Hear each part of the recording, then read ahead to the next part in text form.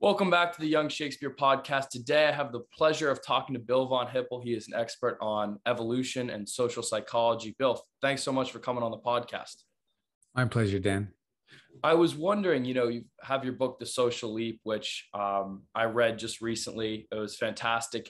And it takes us through the story of how we got to be the way that we are. And there's a lot of really interesting pieces of evolution for us one thing that I was really interested to learn more about was the ways in which evolutionary traits that would have been beneficial in the past are still impactful today. Obviously, my ability versus your ability to kill a lion might not be as important for gaining social status, but are there things that are still very impactful? Yeah. So, you know, if you think about the history of our species, Homo sapiens has been around for two to 300,000 years. And during 90% of that time, we're hunter gatherers. And so we're living in small bands out in the savannah, um, trying to kill things today that we're going to eat tonight. Mm-hmm. And so the last 10% or even less really i mean it's only it's more like 5% has agriculture in it has and then the last you know 1% has cities in it so the the kinds of ways that we make a living now are completely foreign to our ancestors. The kinds of worlds that we live in now are completely foreign to them. And so most of our the, the things that make us happy and the um, things that scare us and the things that excite us, they're, they're relics of the past. Now we're really flexible species, and so we apply them to our modern world, but we still care about things that that we would regard as an evolutionary mismatch. You know, we're worried about things that aren't that aren't going to hurt us anymore, and we're not worried about things that would. So, for example, if you try to um, condition people to be afraid of a cockroach or a snake or a spider, it's really easy. Mm. Very quickly, they'll learn, ooh, that's gross, and I'm afraid of that. You try to condition them to be afraid of a car or an electric outlet, it's very difficult, even though cars and electric outlets are far more likely to kill you than snake yeah. spiders are.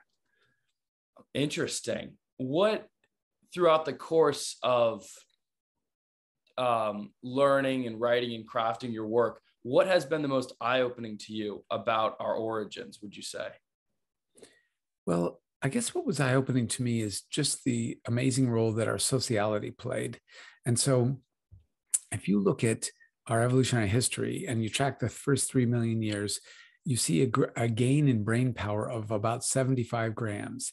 You know, we, we go from about 375 gram brain of a chimpanzee to about a 450 gram brain of an Australopithecus. Mm-hmm. That's barely any change in 3 million years. And then suddenly it just takes off and the curve really goes. And a million years later, now we've got an 800, 900 gram brain. And then we get to a million years after that and we, we're starting to look like us. So the you know, scholars have wondered for a long time about what that what caused that, and and of course we don't know exactly, but it fits really really well with the sociality that we would have evolved once we became bipedal and could protect ourselves in the savannah. And of course, once you're a social being, once you're cooperative, now you can leverage groups to be much more powerful than they ever were in the past. And so for me, what's interesting is that it was really our coming together to become cooperative and sociable with each other that then allowed us to become so incredibly smart, which I hadn't really given any thought to and prior to working on this problem. Yeah, that's an interesting sort of self-fulfilling relationship in that way. Yeah. And I love how your area of intrigue and uh, investigation is somewhat different than the typical thing you might learn in a class where you know at a basic level the anatomical evolution you kind of tackle the behavioral in that sense when you analyze complex things like the relationship between sociality and growing uh, brain size, how are you able to make deductions about behavior when there's so little evidence left behind? You know, that's yeah. that's kind of the question. So, what things, you know, what's an example of things that you know something that would stick out that's evidence left behind that you can then use to unravel some sort of truth about behavioral change?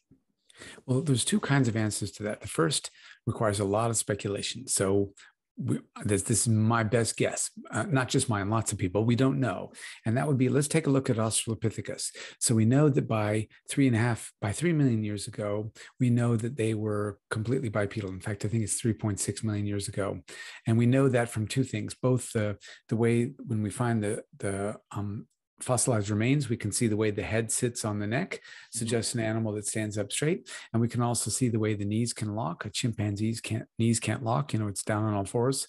And we also have, out of pure good luck footprints in volcanic ash that hadn't dried when they walked through it and so we can see from those footprints that must that have hurt it's well that no it would have been a little bit no, it would have been cool by the time they walked on it, and then it would have solidified over time, probably with rain turning into cement. That's mm-hmm. my guess. I don't think they would have walked through it if it was still hot, but um, because there's little little ones even walking through it. But what you can see is um, they have a foot strike that's just like ours.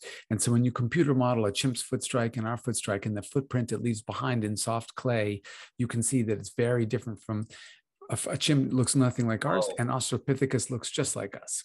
So now we know those are nice pieces of behavioral inference we can make from the body and from the footprint. And then the inference that I draw from that is well, all right, once they got upright, their muscularity shifted to become lateral rather than vertical to climb trees all the time. And that enabled them to rotate their hips and waist better, which enabled them to throw stones, which is the invention of the capacity to kill at a distance. Mm. Now, we have no idea if Australopithecines ever threw stones in order to protect themselves. There's not one shred of evidence that they did, but we can see in their flexibility their hand and wrist that they could have. We can see in the flexibility of their shoulder that they could have. And we also see that this is when our brain power started to take off. So it strikes me as the time where they became cooperative with each other, and that cooperation allowed them to protect themselves because previously they would have gained very little by cooperating. You know, a lion attacks you on the savannah, you and I could cooperate till the cows come home. We're still lion food. but um, if we can throw rocks and prevent the lion from ever getting to us, well, that's a very different ball game. And so that kind of cooperation would have really helped. So that's an example of evidence where we, we don't really know. it's a huge inference and a huge leap, but it stands to reason that it could have happened that way. Now, in contrast, we have more recent data where, for example, we look at the Oldowan tools that our Homo habilis ancestors created, and then the Acheulean tools that our Homo erectus ancestors created about a million years later.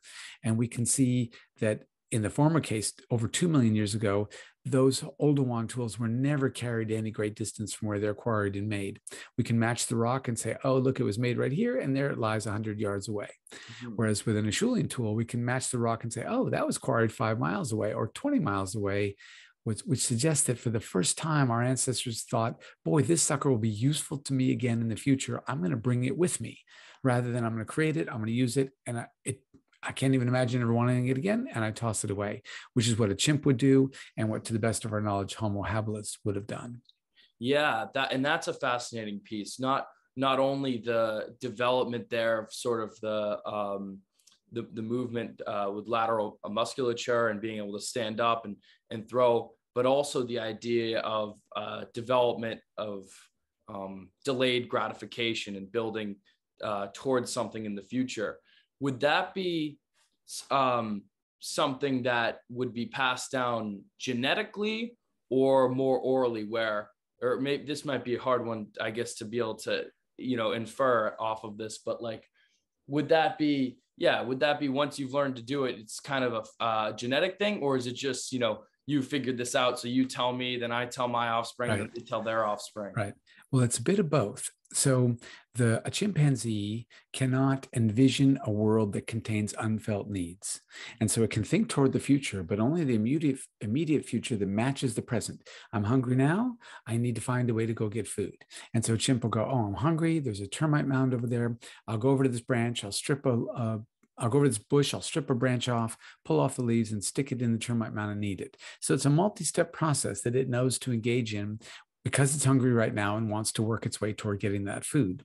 But when it's done doing that, it can't imagine that it'll ever be hungry again, which is so counterintuitive for us as humans because we know full well I'm going to be hungry at breakfast, I'll be hungry again at lunch, I'll be hungry again at dinner.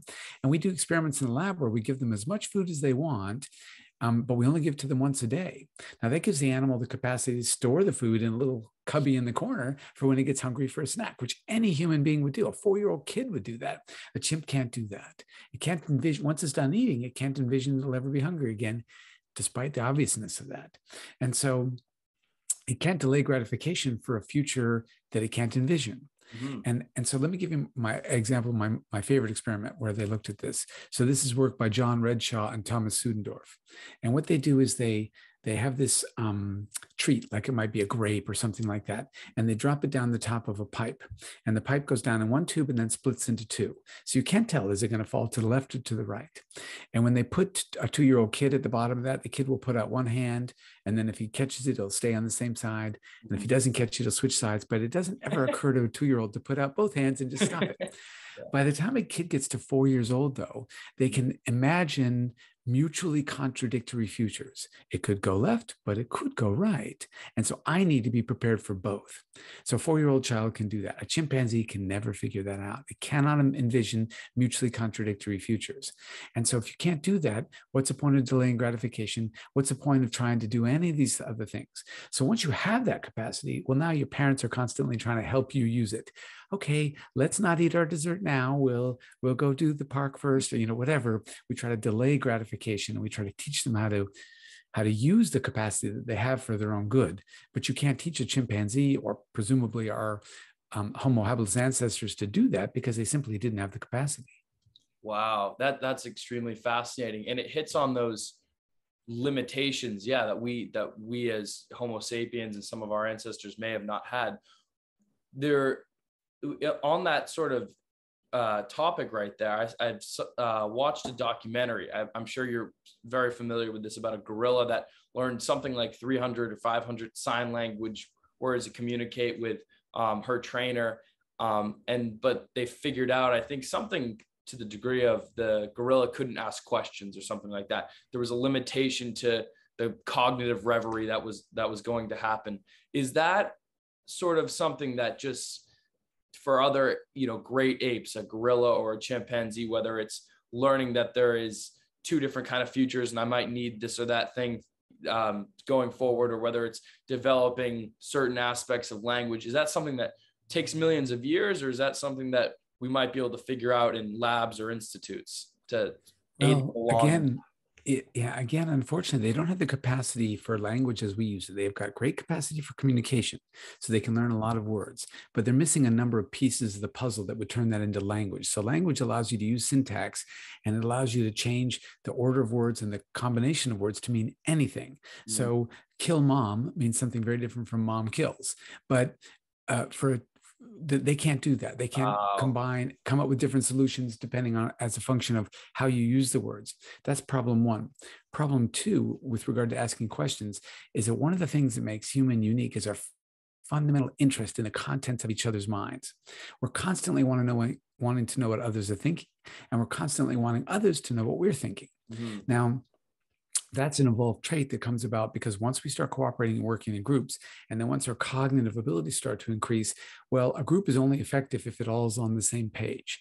And so if you and I see somebody coming over the horizon and you think they're an opportunity and I think they're a threat, you, you and I might as well not be in a group mm-hmm. because we're not going to act in a coordinated way. But if we can quickly come to a decision, threat versus opportunity, by discussing what's in our mind, then we know that we're on the same page and we can deal with it more effectively. Even if we're wrong, even if we come to the wrong choice, at least we're acting as a group. And chimpanzees and gorillas, they don't do that. They can't coordinate their group activities in that kind of way. So they they're not interested in the contents of each other's mind. They don't have theory minds, so they're not even aware that the contents might differ. Right? I know that what you think and and what your preferences are aren't the same as mine, but a small child doesn't know that, and nor does a gorilla or a chimp.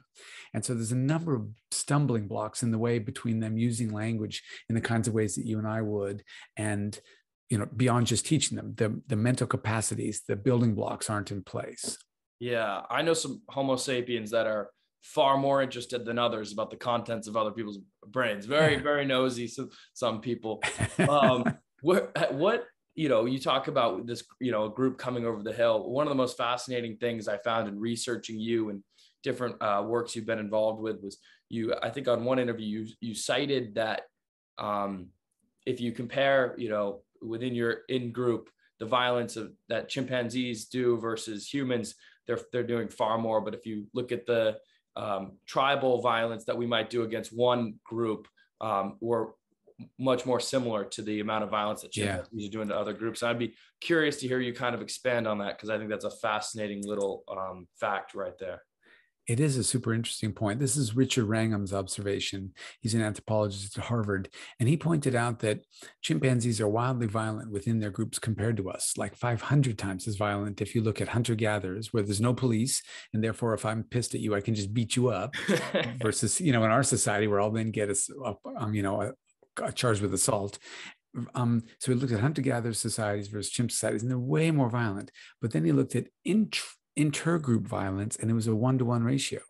And so the question is, well, why would that be? Why would we have been sort of domesticated with the way we treat each other within our groups, but not with the way we treat each other between groups? And again, we can only speculate, but the answer seems to be the case if we look at the history of human violence, that once human beings um, started to be able to envision the future. Once they developed division of labor, once they became oriented toward the contents of each other's minds so they're all on the same page so the groups could act together.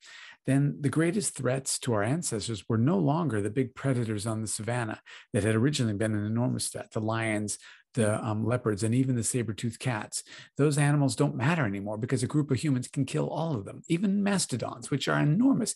We ate those for dinner. They didn't eat us. Mm-hmm. and so it's our group coordination that makes us so effective.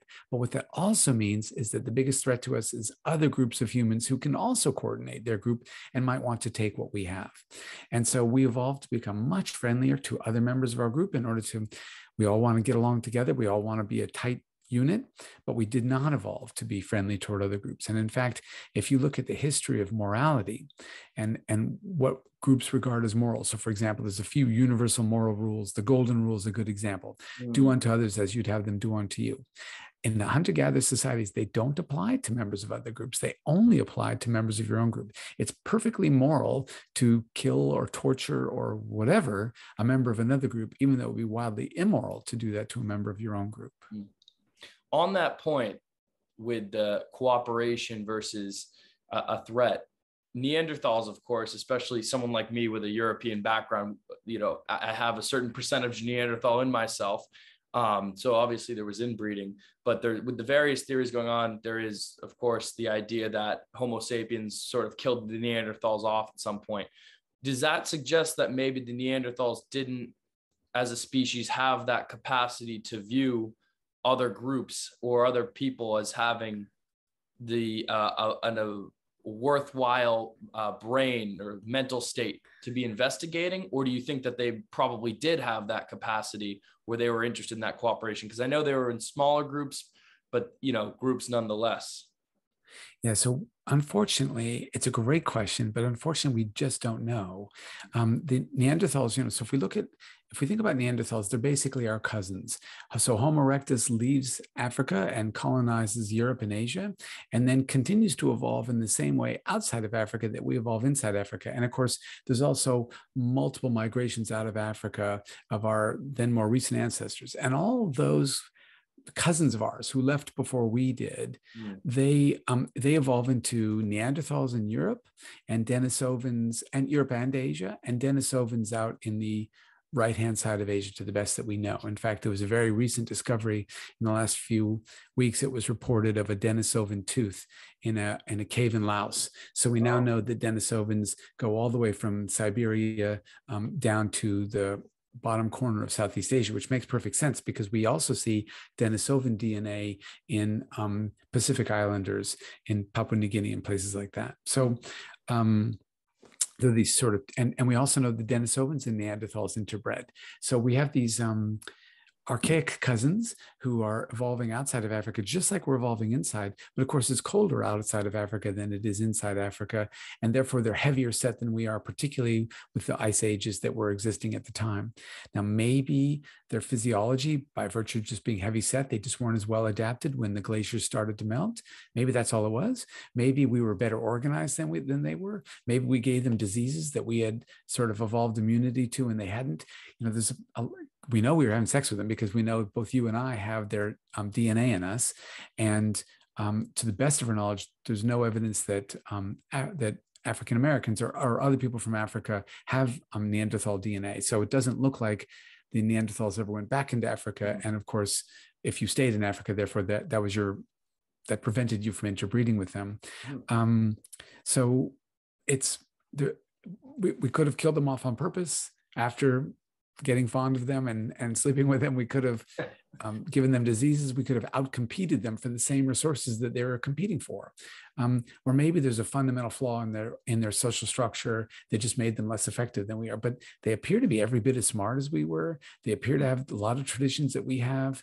Um, we don't know if they could you know if they could communicate like we can. And maybe that was a problem that our our language skills were way better. It, it's these are great questions. We just don't know the answer what was the if you know traceable at what at what point did we sort of break off you know with homo erectus as the common ancestor between neanderthals and homo sapiens? Was there a reason or a, a specific gene or trait that was the the first point at which we can start to identify a difference between the neanderthals and the homo sapiens? Did they break off at the same time? And and and why was there that difference? So the remember there's continuing migrations out of africa mm-hmm. and so you know if you're uh, if you're one of our ancestors you're this bipedal clever not quite as clever as we are but awfully clever mm-hmm. animal yeah. and and you you notice that there's this land bridge up there on the upper right hand corner and and maybe the guys behind you are mean and they're kicking you out or maybe you're just curious what's over the next horizon or you're hungry and you're hunting something. And so naturally humans migrate out.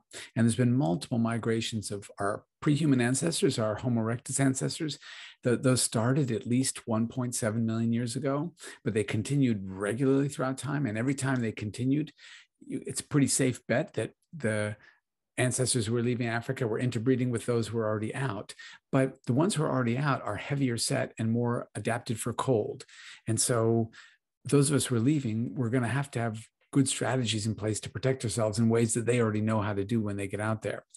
The um, I, I, could easily be wrong about this, but my memory is that the common ancestor of Neanderthals and us is less than a million years ago. It's more like three quarters of a million, but but I, I could easily be getting that number wrong. I tend to forget these numbers and I'm often often I'm often incorrect by orders of magnitude, but again, it would have been basically a Homo erectus ancestor who went out, who they then now are, are adapting to an environment that's much colder than the environment that we're adapting to which is interesting it didn't make them any smarter than we are they all we all got smarter both inside and outside of africa but they got these big heavy bodies that neanderthals have and we have these more gracile flexible smaller bodies that are better for um, shedding heat than theirs because shedding heat was not their problem mm.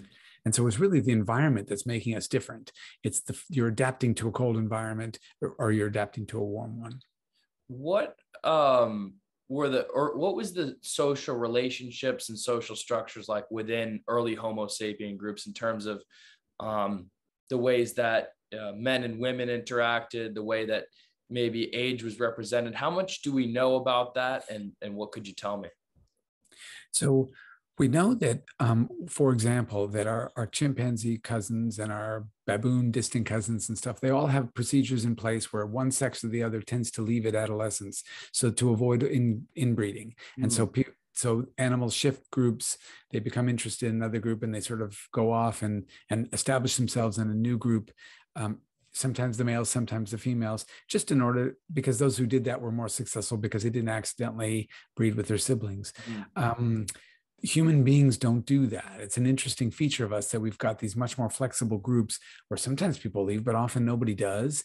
Mm-hmm. Um, so you can easily imagine a world where we had to be a little smarter and we had to understand who's family and who's not so that we could avoid a problem that they had just a simple behavioral strategy for avoiding. Um, that's one issue. The um, as far as what was the group size and, and how did they interact with each other, we don't have good data on that because you need to find everyone together. And right. and that means it was a catastrophe right? Mm-hmm. and that doesn't happen very often. But what we what we can do is we can look at hunter gatherers and say well what size groups do they tend to live in?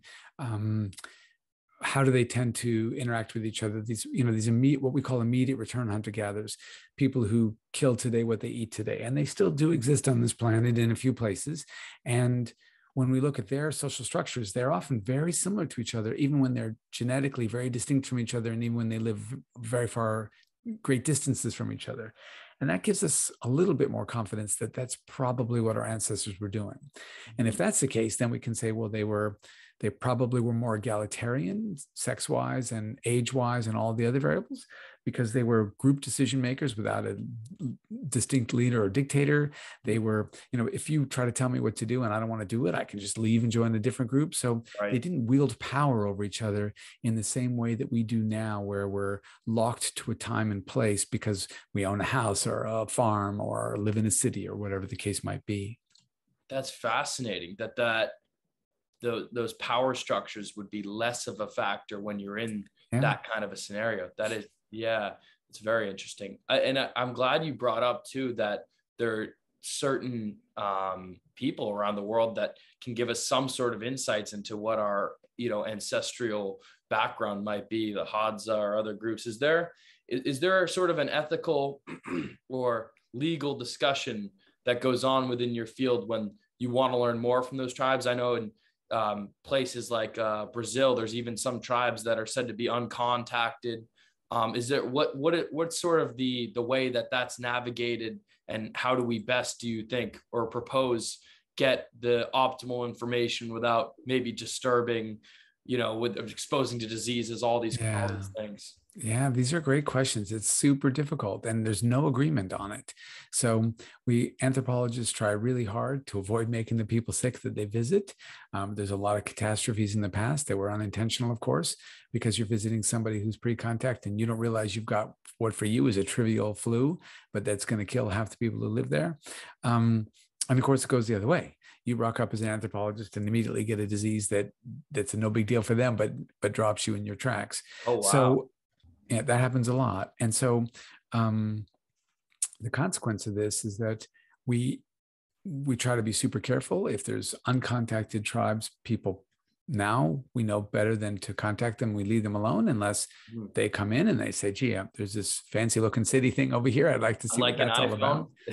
yeah, exactly. Because you know the thing is that we, we often romanticize the past and we say, boy, that was this beautiful existence. And in some ways it is a beautiful existence. Mm-hmm. They feel very connected to each other. They, everybody, it's, it's the original communist society from each according to his abilities to each according to his needs. Right.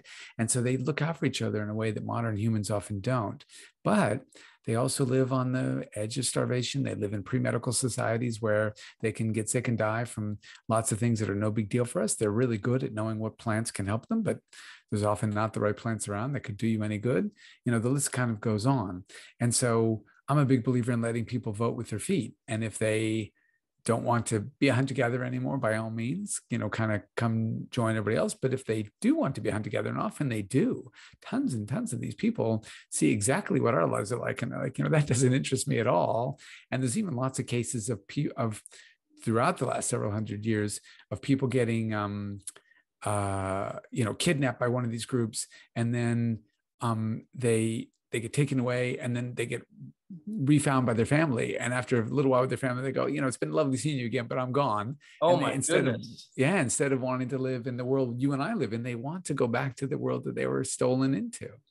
That's wild. That's like a Disney movie or something. Yeah, it is like a Disney movie. It's a trip. oh my goodness. And what have we been able to pick up from tribes that are living closer to what we believe like early homo sapiens would like you know what what have we learned from them? Well there's a, there's some really interesting cross group similarities that that you you can basically see in all these groups. And whenever you see something in one human group but not others it's super interesting but we don't know if that's just something somebody came up with in that particular group that may or may not even be a good idea right um, because groups, all humans tend to do things that are clever, and all humans tend to do things that are not so clever. Um, and so, the you know that if you, the more you do clever things, the better your group is going to survive. But all groups can sustain a certain amount of not very clever and still do all right. Mm-hmm. And so, what we look for are those universalities, and there are some really interesting universalities. Um, some of them we don't fully understand, like the fact that women always do the cooking. That doesn't make any sense. Why would that be universal that women cook? Um, Mm. There must be a reason for that, but who knows what it might be. Uh, other universalities make perfect sense. So, for example, there's no such there's such a thing as private property, but not in the sense that we think about it. And so, if you own if if you own two of those plaid shirts, well, now I have a perfect right to ask you for one of them. Yeah. because you don't need to right and so whenever there's any anything that approximates a surplus it's a everybody owns it, no matter who made it. Even though you put in the hard yards to to make that shirt, it's you, it's an extra. You don't need it, and so I can ask. And so there's universal sharing, and that makes sense. It's kind of an insurance policy if you think about the fact that um, people are living right on the edge of starvation all the time. And if you think about the fact that most big game hunts are going to fail, well, then you want to know that it's just as long as somebody succeeds, we all have something to eat. And so if there's a big game hunt that succeeds in every one of these societies, people share the they, they share the proceeds. Now, the rules differ dramatically about how they're shared. Sometimes it's whoever's arrow hit it and they all trade arrows in the morning. Some eh, there's a lot of rules of who divides it up, but in the end, it's always going to get divided up and it's always going to get handed out because that way, you know, even if I don't have any, if I don't kill anything today, but you do, we're both going to go home, go to bed with something to eat tonight. Wow. Yeah. Universal sharing that, that makes tons of sense. And on, on that idea of, you know edge of starvation what can we learn from our ancestors about our own dietary needs the way we function? I've always thought it was interesting the um, you know I, I, go through my life like most people three meals a day that's the idea. And i get very used to it. And when i don't have that you know when i miss this or that meal or i don't eat till dinner i feel very hungry but then I recognized through, I think I, I did like a three day fast or something. I know many people have done much longer ones. I said, wow, there's sort of these peaks and the hunger that kind of come and go away. And I imagine, you know, my mom was worried about me or something. And I said, well, I'm pretty sure our ancestors and our were biologically built to be able to go like a good amount of time without eating. So there's certain things that we've almost lost in that way. And I'd be curious to hear your thoughts on you know the our ability to endure fasting but also maybe what sort of dietary things like a surplus of salty foods and stuff like that what has changed and is there any benefits do you think to returning to certain traditions yeah, that's a great question. There are lots of differences between the ways we eat now and the ways we ate then. So, to take one example, um, we have whenever we sit down for a meal now, particularly for dinner, but for most meals, we have a, a wide variety of foods on our plate. We might have four different um, food options, or we might have four different courses. We might have we're eating lots of different things. Our ancestors didn't do that. They if if you came home from camp and you, you don't say what's for dinner tonight because there's a big giraffe lying there, you know you're eating giraffe. and so and and if you're um you know the the men were off trying to kill big things and the women were digging up roots and stuff like that. So maybe there'd be berries maybe there'd be roots but usually one or the other because it's all seasonal. And then on top of that there'd be hopefully some large meat product that somebody brought in. Now, nobody in our there's not a single hunter gatherer who's a vegetarian. That's that's a, a mm. privilege that you can uh, be a vegetarian in a world where we're so, where we have so much food available that you can get your necessary nutrients without eating meat. Mm. But our ancestors couldn't do that because meat is so much more calorically dense. And so, one of the key issues is you think about the fact, all right, well, why does variety matter? It turns out that variety matters a lot because variety is part of what drives our appetite. One of the things that we do as humans is when we're when we're not going to get any more nutrients out of a giraffe because we've now eaten plenty of giraffe, we're just not hungry anymore. But if you then presented me with a cherry pie, I would be hungry again. And so it's the same kind of feeling you go when you're out to dinner at a nice restaurant and you're completely full. And then they go, Would you like to see the dessert menu? And the last thing you want is more food, but you're like, Oh, actually, I think I could do that. It's because it's different. And so our ancestors never struggled to with obesity. All they struggle with is potentially starving. And so they didn't evolve good mechanisms to stop themselves from eating but one of the key mechanisms that they did evolve was i, I won't gain anything by eating more of that. We don't use we don't rely on that mechanism anymore because we we have so much variety on our plate at any one time. And so one of the lessons is that if you do, if you are trying to lose weight, a great way to do it is to decrease the variety on your plate. Now you don't want to do that across your lifespan like stop eating you'll get scurvy you know if you stop eating fruits and veg that kind of thing but you do want to do it in the context of any one meal so if you if you have only one or two foods at most on your plate at any one meal it's a lot easier to stop eating earlier that's a good example mm. now you raised the point about intermittent fasting. That's a it was a, a, way of life for our ancestors. They, they were in the no choice condition right? They didn't always get something to eat. The downside of that though is that we also know very clearly now that our bodies responded to that when we stop eating it slows our metabolism down especially if we stop eating over a long period of time because it, it says uh-oh it looks like bill's in a time of famine. I better slow his metabolism down so he doesn't starve to death.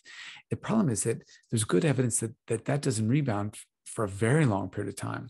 And so part of the reason that when people diet and then gain the weight back is that they can pre-diet, let's say that a person's metabolism is burning um, 1800 calories a day. Well, post diet, their metabolism is only burning 1600 calories a day, and they'll stay that way for months, if not years.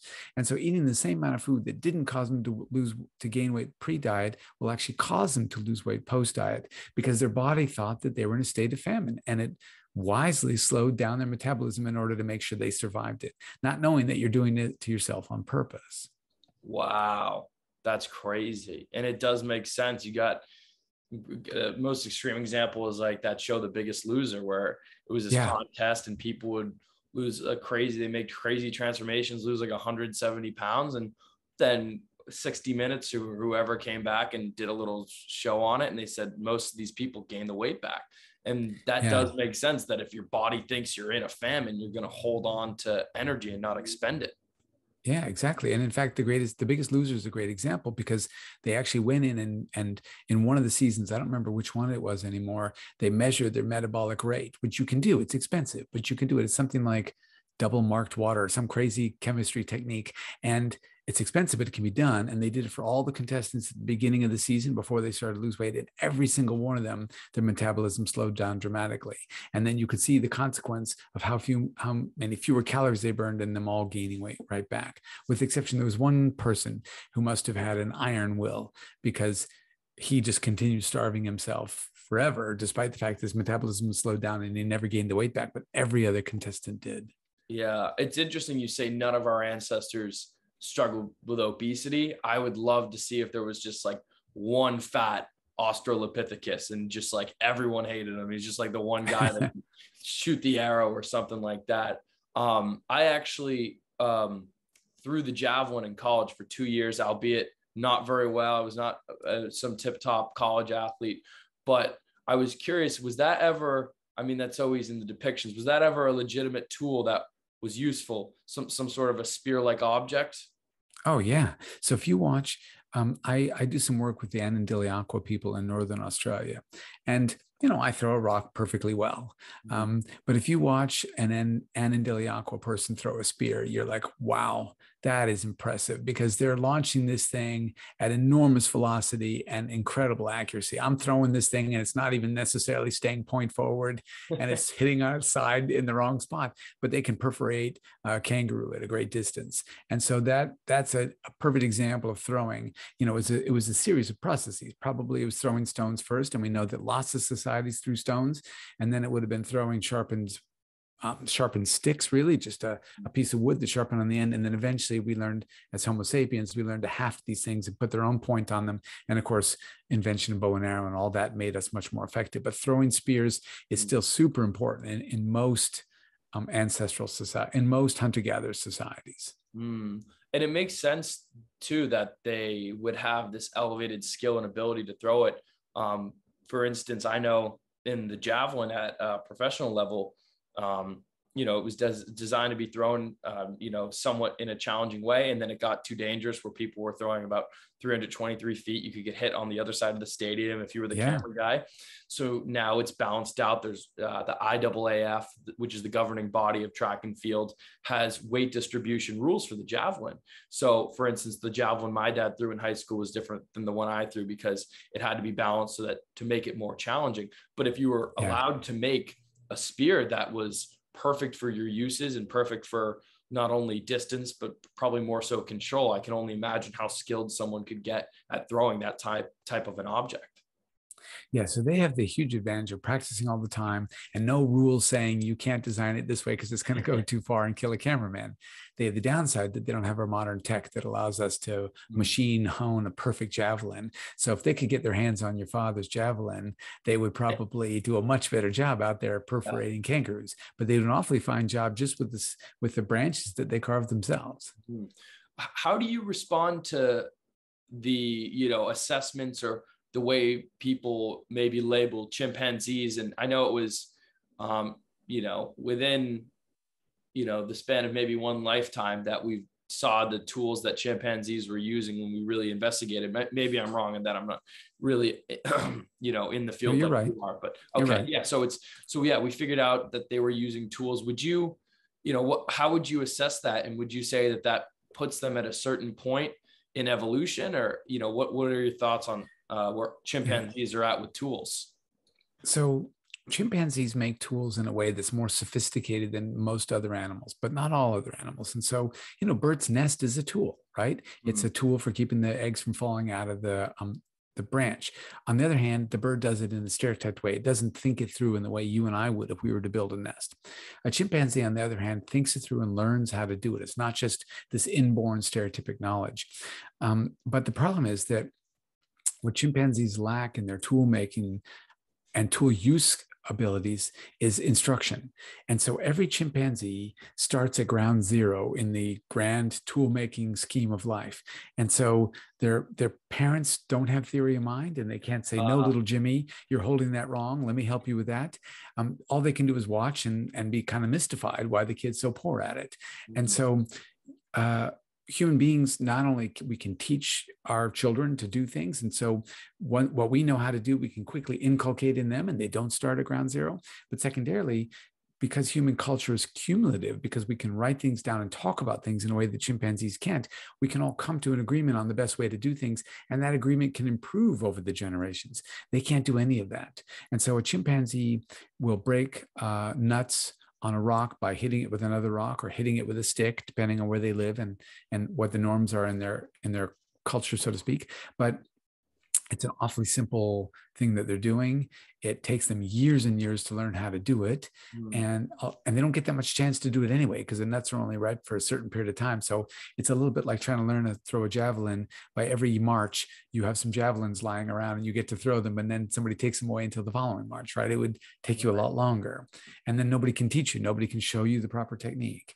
And so the downside is, although they do use tools, they use them in such an unsophisticated way that it, it, it makes a difference in their lives, but it doesn't come close to the way we use tools in our life.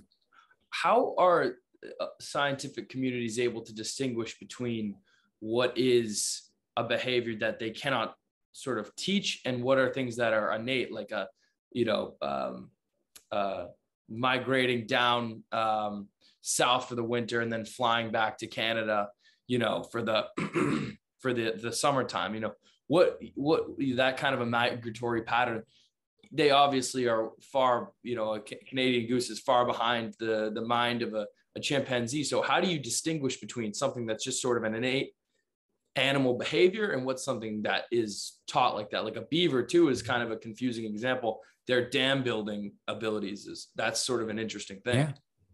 So that's a great question. The the there's a couple ways we can tell. So first of all, um, a squirrel will bury nuts even when it's never yet experienced a winter. So it didn't learn, gee, I got awfully hungry last winter. I better bury some nuts so I have more to eat. So now we know that it's an innate ability because it's burying the nuts without ever experiencing the need for them. So that's one one way we can tell. Another way we can tell is that they they rely on a set of cues that might be reliable, but that are wildly incomplete. And so, mm-hmm. my favorite example, and, and those cues prompt them to behave in a certain way. So, my favorite example of that is the meerkat. Now, meerkats live in the Kalahari, and so they eat and they eat insects. And so, one of the insects that's plentiful is a scorpion, which is wildly deadly. So, if you're eating something that can kill you, you want to do a good job trying to kill it first, right? And so, what meerkats do when they're when their pups are starting to be weaned, they're no longer living off milk, is they they'll kill the scorpion and bring it to the, the pup dead so the pup can eat it. And then when the pup gets a little older, they'll capture the scorpion, they'll break its stinger off and they'll bring it to the pup live, but of course they can't hurt it. And so the pup learns to, you know, tackle the scorpion and kill it without any risk. And then when the pups are bigger still, they literally capture a scorpion, bring it home by pinning its stinger so it can't hurt them, and then toss this deadly scorpion to their pups who have to learn how to kill the thing because that's what you got to do if you're going to be a meerkat. Now that looks super thoughtful. It looks like, oh, my pup's ready to be um, fighting a full grown scorpion, you know, with the stinger attached, but it's not. It turns out that when researchers play the sounds that a baby pup makes, then the parents will kill it and throw the dead scorpion to it, even if their pups are adolescents and are ready to kill it. Um, in contrast, if they play the sound of an adolescent pup, the parents will throw a live scorpion with stinger attached to, to their baby pups who can't possibly contend with it. And so it's it's not thoughtful at all. It's I hear a certain sound, I behave in a certain way. It's it's inborn. It looks like it's clever and thoughtful, but once we pull it apart, it's not. And of course, it makes perfect sense because it's computationally cheaper to just go by the sound, which is never wrong. We can mess with it because we're the researchers and we can put a tape recorder in there. But yeah. the, in in real life, that that that cue will be 100% reliable. So why why learn? Why do anything else? Why not just rely on the cue that always works without any thought at all? And that's how when we see these kinds of behaviors, we can say, oh, here's an animal that's actually planning and thoughtful, and here's an animal that's engaging in what we call stereotyped behavior. It just does X when Y happens. Wow that's crazy.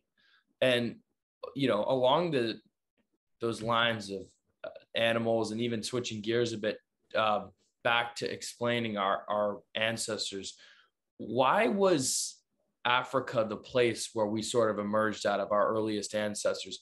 Was there the right conditions? Was that the right geography? Or was that just happened to be the place where life came out of for our very early yeah. ancestors? Yeah, of course, it's hard to know with any certainty. But if you look at us, we're clearly the product, we're the evolved offspring of the great apes and chimpanzees in particular. Our chimp cousins They've also evolved since we split with them six million years ago. So they're not quite the way they were six million years ago, but we've obviously changed quite a bit more. Now, given that we're the offshoot of chimpanzees and not of elephants or any of other wide variety of animals that were conceivably we could have come from, well, we know we now have to come from wherever chimps are, and they live in Africa. And then what makes us come from the region of Africa that we did come from is that that's where the rainforest dried out. So a chimpanzee is king of the canopy. It has no reason to want, so to speak, to become us. There's no evolutionary pressure on a chimpanzee to start walking on the ground and then gaining all the qualities that we have. But the chimpanzees who lived on the right side of the Great African Rift Valley, who lived to the east there, they um, the rainforest slowly dried out because of geographic changes as the Africa splitting into two plates and the Somali plate is elevating. And so that elevation caused the trees, the rainforest to dry out and be replaced with wooded areas and savanna. And that forced our ancestors out of the trees. Now, it could have easily been a disaster. They could have got forced out of the trees, eaten, game over. There's chimps on the left side, nobody on the right side, and that's just the way it is. But we got really lucky that some of our ancestors were forced out of the, out of the trees spent millions of years skulking around the edges, slowly became bipedal, then developed the capacity to protect themselves, then became social in order to use that capacity and cooperate together. And boom, boom, boom, all the pieces of the puzzle went together. Now, there's no magic that it had to happen there, mm. but it mm. was a combination of the right species was already living there, and then the conditions changed in a way that forced that species to evolve. Mm. And in a, along going along with those those factors, those puzzle pieces when we did socialize, and I know you referenced earlier, we wouldn't exactly know unless there was some sort of a mass disaster that happened all at once.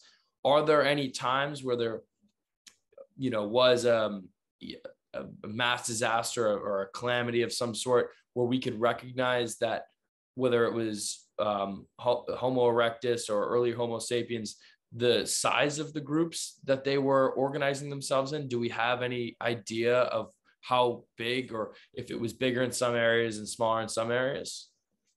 We can't, it's, it's very hard for us to tell if we lived in groups of 20 or 50 or 100, although we can again use modern hunter gatherers to answer that question. But it's easier for us to tell how many total existed in this particular ethnic group in this particular area. And so we know, for example, that there appears to have been a period of drought in Africa that caused um, the extant human groups that did exist to consolidate in a couple of areas that were pretty far apart from each other and then not have almost any contact at all between them. And so the the Homo sapiens that were living in the very southern tip of Africa became quite distinct genetically from the Homo sapiens that were living um, in East Africa and elsewhere because the, there were just not as many of them, and and famine or, or drought had driven them apart. But of course, droughts end, and more people start to they, they the groups grow again, and then they intermingle again, and so the history of humanity is the history of separation and then reconnection. Mm-hmm. And so the genetic movement is complicated. We can use genetic markers to see how many ancestors there were in a particular group because we can look at variability on certain markers that are frequent in an ethnic group.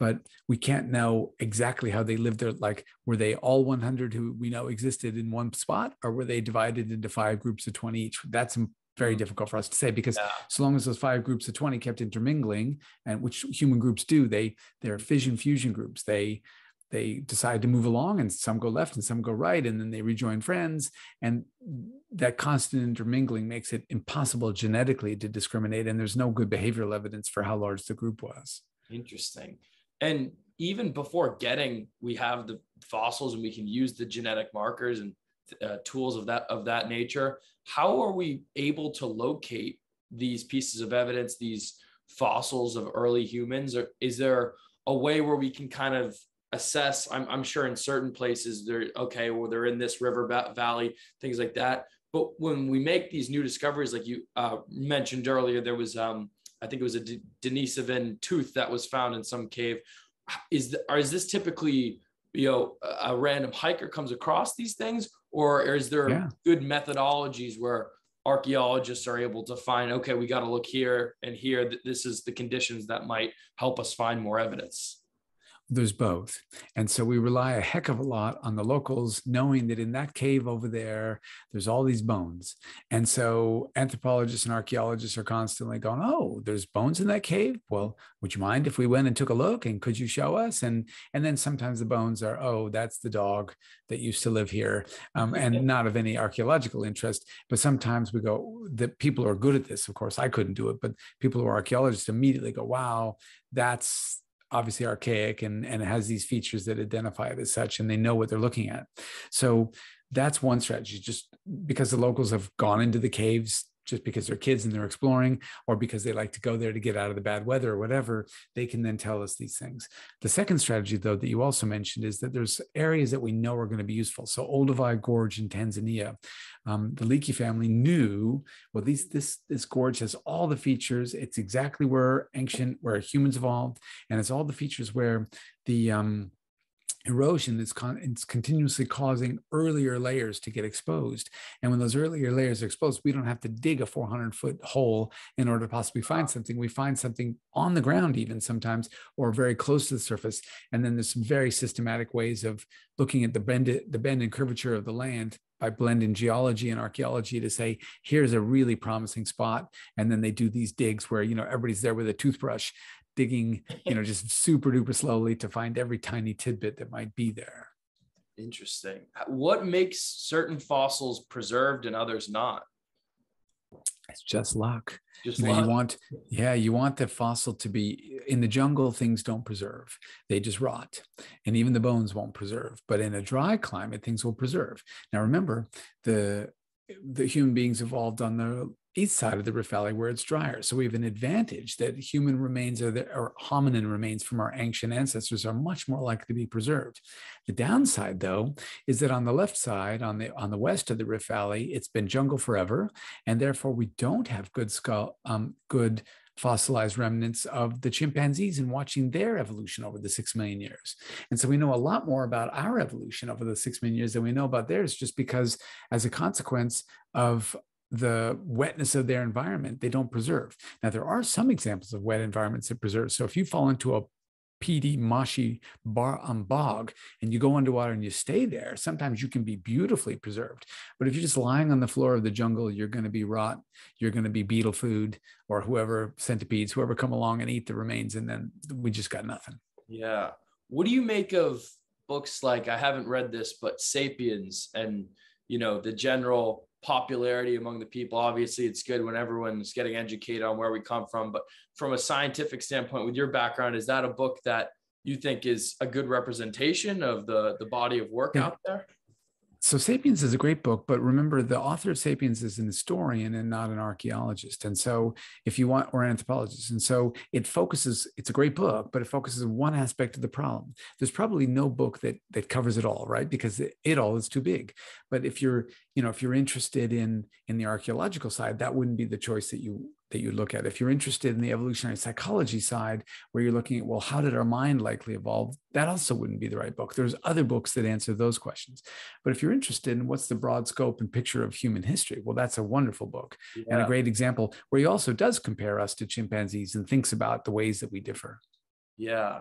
Well, on the topic of just, you know, whether it's sapiens in that sort of a popular sense or a movie like Catching Fire, I'd be curious to hear about your own individual experience on when you were sort of on the biggest scale, not only with your uh, book, but on the Joe Rogan experience. What what did you take from the reaction from people when you came and spoke about all these scientific topics that typically would be of interest to an academic audience, um, to a, to a classroom, but maybe would never be seen by millions of people all at once? Yeah, so it's an interesting experience. On the one hand, you've got um, people are very open to it and interested because they don't know that much about it, right? I didn't know that much about it until I took a deep dive into this stuff, even though I was already a psychologist. But then I spent about 10 or 15 years, well, now it's almost 20, trying to really learn this side of the story so I could match the, our current psychology with where we came from. But um, there are people who are very hostile to it. And interestingly, they're hostile from both the left and the right. Mm. And so people on the right are often hostile because they don't like the idea of evolution in the first place. And so if you're if you come from a strong religious background, the whole thing is a bit threatening or offensive, or you choose your your descriptor. Um, and so they're often quite negative about it. And I saw like you get lots of comments like, oh, yeah, if we evolved, how come there's still chimpanzees? Well, there's a good scientific reason for that. And it's fair enough they don't know, but they're just obviously being dismissive without learning about it, which is someone's prerogative. On the left, though, you get people who don't like the idea of evolution because they don't like the idea that the mind evolved because that worries them that if the mind is not infinitely plastic, maybe we can't fashion the perfect society. Maybe there will always be differences between men and women. Maybe mm. there will always be um, violence and things like that. And, and, and lots of people on the political left of the spectrum don't like those ideas. And so you get the equal number of insults coming at you from the other side, st- saying that you're a retrograde or a caveman or that you're trying to justify bad behavior, which of course, yeah. understanding where it comes from is not to justify it, but, but people get those two things confused in their mind. Wow. And that that's very interesting too, as a person to be put on that stage and then face that criticism. I, and I know people react differently to it. What did you make of of Joe Rogan as a person? Oh, uh, Rogan's great. He's super interested, and so he he just asked the questions that occur to him, and we chatted for a while beforehand, but quite a while afterward. He was just super interested in the topic in general. Um, he's also a lovely guy. So in in my case on his show, people don't know this, but when I went into to film it, there was a fire all through um, L.A. and Malibu, and wow. we, we almost couldn't get to his studio in in in um, the San Fernando Valley because it, when you drove down the street that it was on, you couldn't take a left turn that was all burning. Now his house is up there where it was all burning. So he'd been moved out of his house into a hotel and the, his house never did end up burning down, but it came close and there were firefighters there and everything. So here's a guy who I'm a nobody. He can easily cancel my, my podcast, but we've scheduled it and he, he rocks up looking exhausted from obviously being in a hotel with his wife and kids and not being able to get any time to himself, I assume. And and his house is under threat. But he right. came in and we did our three hour um, podcast anyway. So I was very, and he, you can't see this in the podcast because the camera doesn't show but he's drinking the largest coffee you've ever seen in your life. And he just keeps hoovering it down the whole time. And by the end of it, he's all energized and ready to go. But in the beginning, he was out of gas. Wow. Wow. That's, yeah, that's crazy. That's a very interesting experience. Obviously, I think he's fostered just like for me, he's fostered a bit of inspiration to to get involved in podcasting yeah. and interviewing, and he's he's been a really big deal. Um, is there uh, a person or maybe um, a book you read or a paper that kind of inspired your interest in evolution? Look, there's a lot of great books on evolution. Um, and it just depends on how deep of a dive you want to do. And so you can steve pinker has a lovely book some of them are quite old now like the blank slate which is a super important book written about 20 years ago now.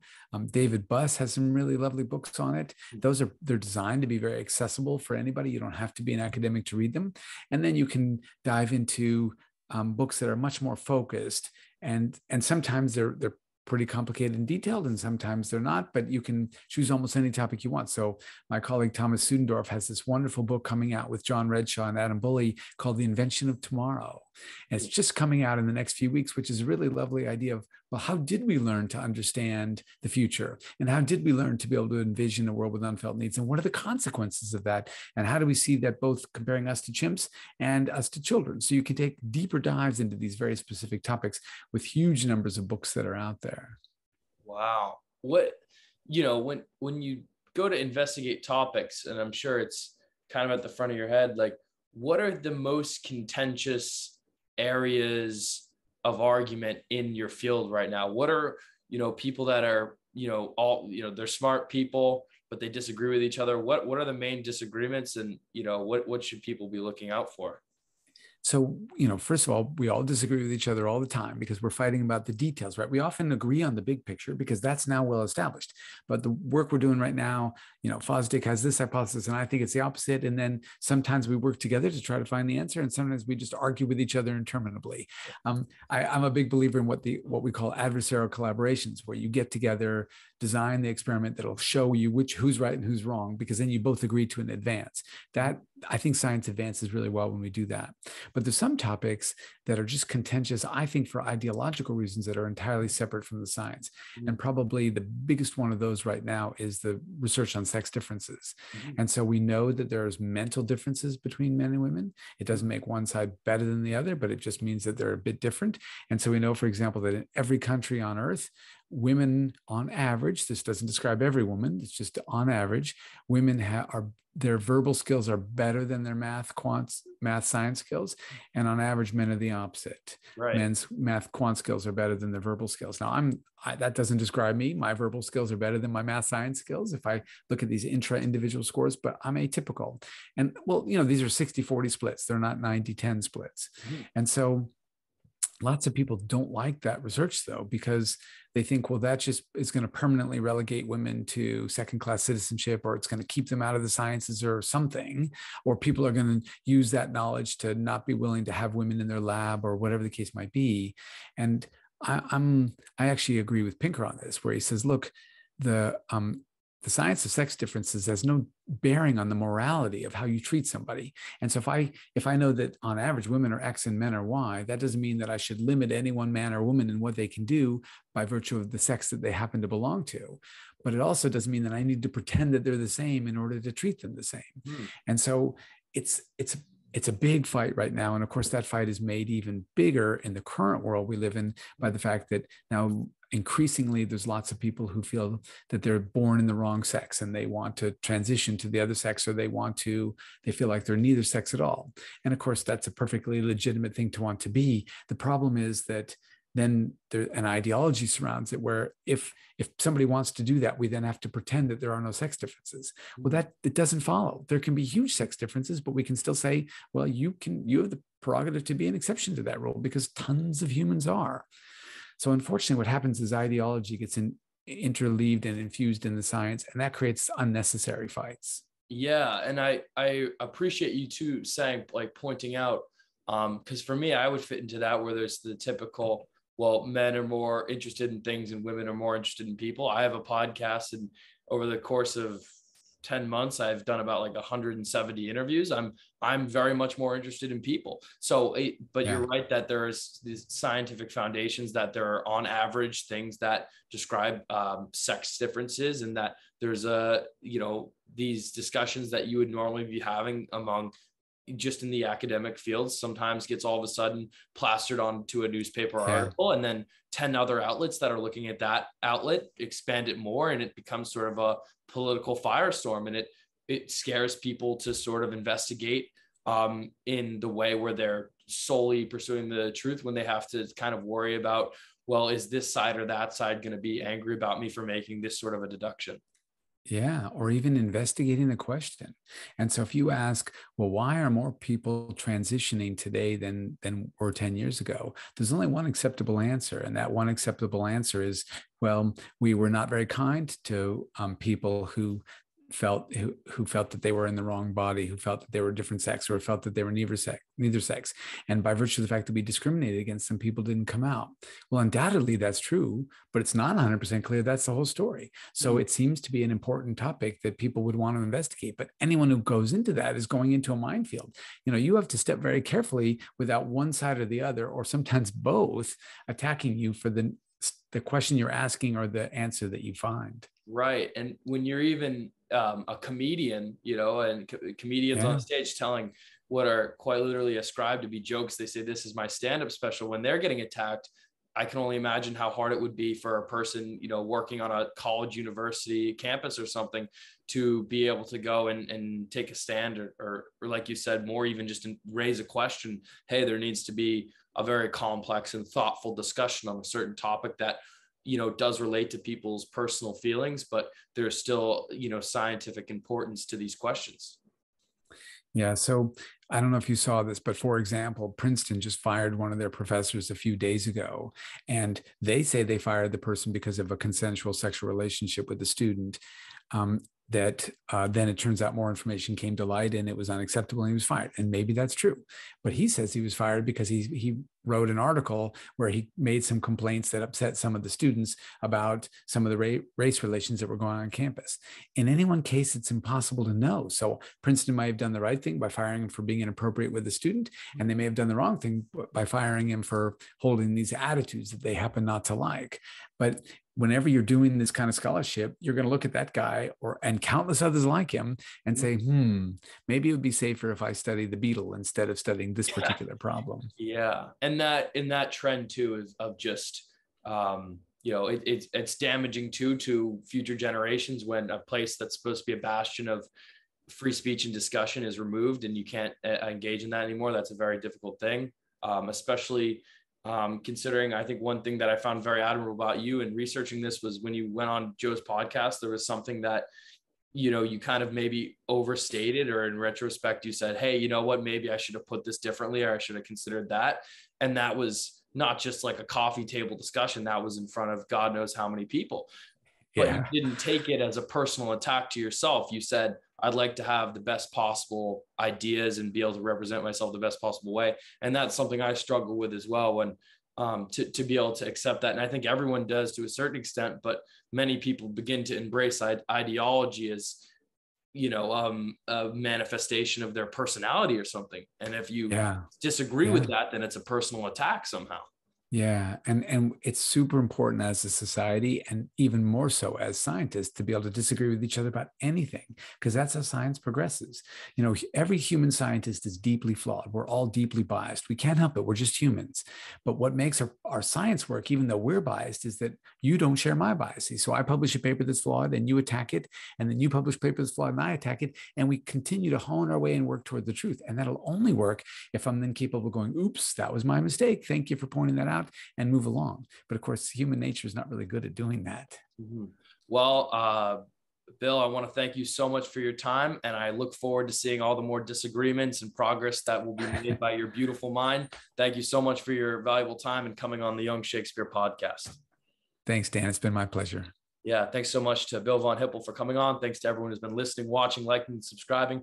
Please tune in to the next episode of the podcast and have an amazing day.